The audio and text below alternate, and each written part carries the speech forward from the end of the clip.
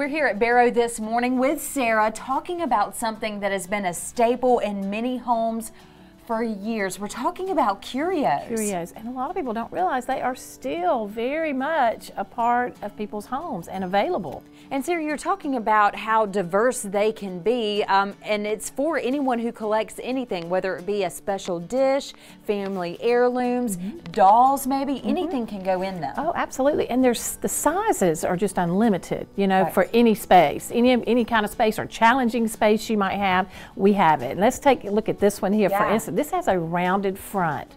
And you know, it it, the detail is just beautiful because you, to be able to look at it um, from every angle. And a lot of the curios we're seeing do have the wood finish, but they can go into different colors, different styles, which Absolutely. we'll look at in a second. Right. But another one we wanted to take a look at is a more traditional one with a little a more traditional, front. yeah. And you know, it has a little bit of wood carving on it, and this one is unique in how the door slides. How nice is that? Yeah, a lot of them will open from the sides. Yeah. And this one is very unique that it opens from the front, so that makes it very unique. And we were also talking about different finishes. So let's go ahead and take a look at one right back here behind me. It's kind of a newer style, mm -hmm. something we're not seeing a whole lot of and take a look at the mirrored finish and, isn't that. that beautiful? You know, nowadays with the, all the mirrored chest and furniture it's so popular, what a great addition, you know, if that is your decor. It's sleek, it's just beautiful and elegant. And the thing about curios is that you can put them in any room in your home, whether it be the dining room, the formal dining room, a living room, or a bedroom. Oh, absolutely. You know, if you're your child, if you need a small one, just to put some special collectibles that, that you know, you've started,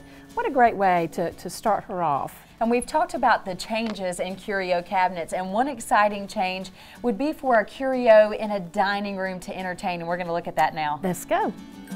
All right, Sarah, this is the latest and greatest in curio Isn't, cabinets. This is very unique. Uh, you know, it, it, not only will accommodate dishes or special collectibles, but you can also put your favorite wine um, and wine glasses.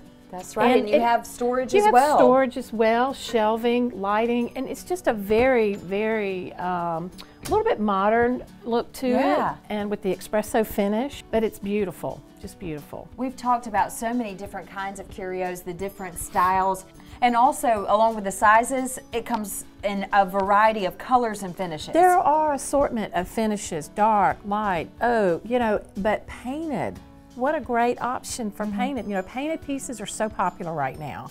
So to know that that choice is there as well.